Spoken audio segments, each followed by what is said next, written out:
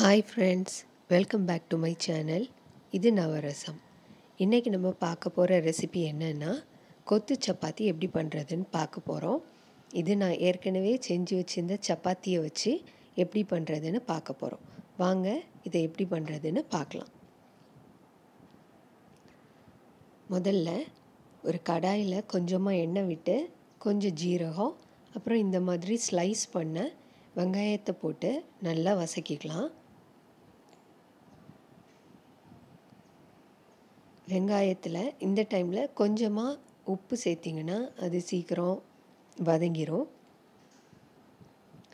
கொஞ்சம் ப்ரௌன் ஆகிறது வரைக்கும் நம்ம இதை வசக்கிக்கலாம். பாருங்கள் கலர் சேஞ்ச் ஆகிட்டுருக்கு இந்த நேரத்தில் ஒரு ஒன்றரை டீஸ்பூன் ஜிஞ்சர் கார்லிக் பேஸ்ட்டு இஞ்சி பூண்டு விழுது சேர்த்துக்கலாம். இதையும் போட்டு அந்த பச்சை ஸ்மெல் போகிறது வரைக்கும் நல்லா நம்ம இதையும் வசக்கிக்கலாம். பச்சை ஸ்மெல் போனதுக்கப்புறமா கொஞ்சம் மஞ்சள் பொடி மிளகாய் பொடி அப்புறமா கொஞ்சம் கொத்தமல்லி பொடி கொஞ்சமாக கரம் மசாலா. நான் கரம் மசாலாவை இப்போவே ஆட் பண்ணிக்கிறேன். இதையும் போட்டு அந்த பச்சை ஸ்மெல் போகிறது வரைக்கும் நல்லா வசக்கிக்கலாம் பாருங்கள் கலர் நல்லா மாறுது. உங்களுக்கு வேணும்னா இந்த டைமில் கொஞ்சமாக எண்ணெய் ஆட் பண்ணிக்கலாம். இது ஆப்ஷனல் தான். அடி பிடிக்காமல் இருக்கிறதுக்கு. அப்புறமா நான் ஏற்கனவே ஒரு பெரிய தக்காளியை இந்த மாதிரி ஸ்லைஸ் பண்ணி வச்சுருக்கேன். அதையும் போட்டு நல்லா வசக்கிக்கலாம்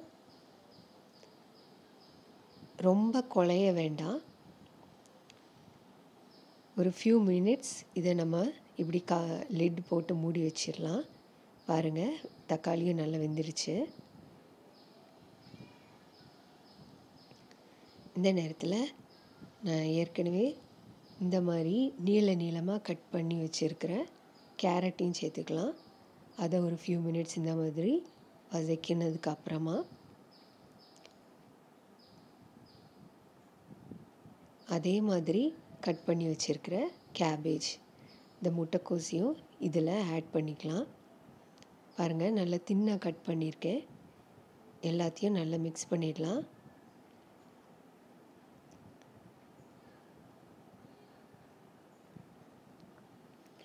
இந்த வெஜிடபிள்ஸ்லாம் ரொம்ப கொலைய குக் பண்ண வேணுங்கிற அவசியம் இல்லை. ஜஸ்ட் எல்லாம் நல்லா மிக்ஸ் ஆனால் போதும். அந்த பச்சை ஸ்மெல் போகணும் இதையும் மறுபடியும் ஒரு ஃபியூ மினிட்ஸ் லிட் போட்டு மூடி வச்சிடலாம். பாருங்கள் எப்படி இருக்குன்னு. கடைசியாக நான் வந்து ஸ்லைஸ் கொடமிளகாவை ஸ்லைஸ் பண்ணி வச்சுருக்கேன். அதையும் ஆட் பண்ணிடலாம். கொடமிளகாவை கடைசியில் சேர்த்தா போதும். இதுவும் ரொம்ப வேக வேண்டாம். பாருங்கள் ரொம்ப கலர்ஃபுல்லாக நல்லா இருக்குது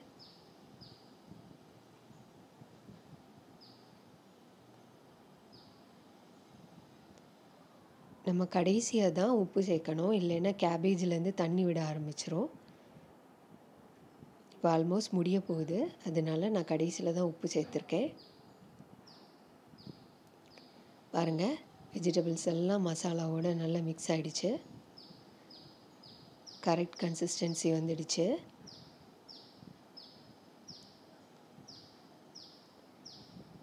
ரொம்ப ஈஸியான டேஸ்டியான ஒரு டிஷ்ஷு அப்புறமா நான் வந்து சப்பாத்தியை இந்த மாதிரி தின்னாக கட் பண்ணி வச்சுருக்கேன். இதை இந்த மசாலா கூட போட்டு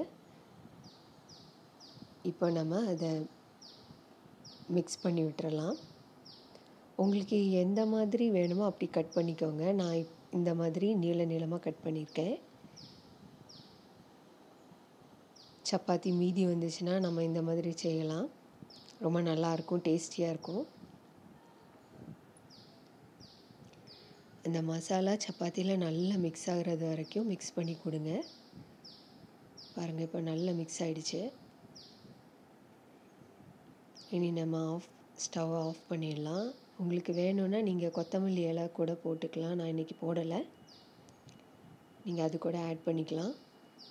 பாருங்கள் கொத்து சப்பாத்தி இஸ் ரெடி இதை இப்போ நம்ம சர்வ் பண்ணிடலாம். நல்லா சூடாக சாப்பிட்டா ரொம்ப நல்லாயிருக்கும் டேஸ்டியாக இருக்கும். உங்களுக்கு வேணும்னா நீங்கள் டொமேட்டோ சாஸ் வச்சு சாப்பிட்டுக்கலாம். இல்லை அதில் கூட நீங்கள் ஆட் பண்ணி சாப்பிட்லாம். தேங்க்ஸ் ஃபார் வாட்சிங் பாய் ஃப்ரெண்ட்ஸ்